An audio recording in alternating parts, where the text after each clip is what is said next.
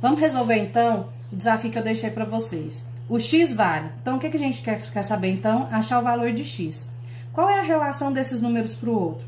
Do 7 até o 9, a gente sabe que aumentou 2. Do 9 para o 1, diminuiu 8. E do 1 para o 144 não tem condição. Então, o que, que nós vamos fazer então? Nós vamos seguir as cores. O 3 e o 9, qual a relação um com o outro? Então, a gente sabe que 3 elevado ao quadrado é 9. O 1 elevado ao quadrado vai dar 1.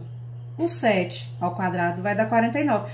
Qual o número elevado ao quadrado que vai dar 144? É o 12. Resposta certa, letra B. Compartilhe, deixe seu like e se inscreva no canal.